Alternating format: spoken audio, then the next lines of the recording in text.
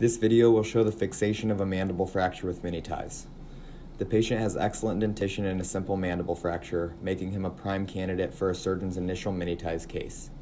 Seven of the eight total ties have been placed already, and all of the current ties are left loose, as this allows for the placement of additional ties.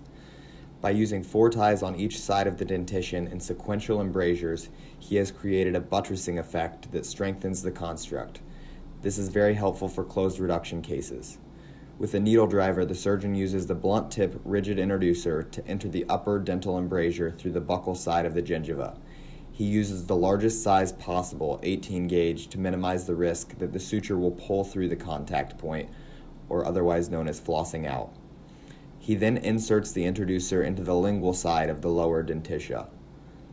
Next, the introducer is placed into the green side of the clasp head perpendicularly.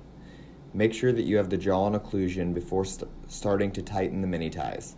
It is always key to ensure that the suture is fully seated at the contact point between the teeth.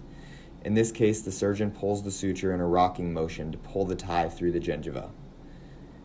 Initially tighten all of the ties finger tight. Make sure that the clasp head is sitting where you want it on the dentition before fully tightening down the suture. Pull on the suture instead of the introducer so that you don't accidentally pull the introducer off.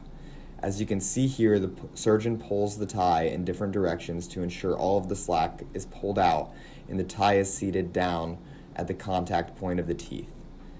After the initial tightening, finger tight, it is key to go back through with instruments to ensure the tie is fully seated down in the embrasure's contact points. Many surgeons like to use a pickle fork or needle driver, as shown here, to hold the clasp head in place while tightening. Remove the tail of the tie once tightening is complete. You will not be able to tighten after this step, so ensure that the occlusion is satisfactory and that the sutures are seated at the contact point.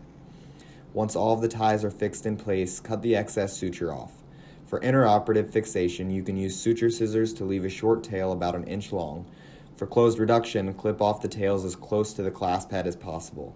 The surgeon here uses a scalpel to remove the entirety of the tail so that it is not bothersome to the patient's buccal mucosa. This case resulted in a good outcome with MMF being achieved in less than 10 minutes.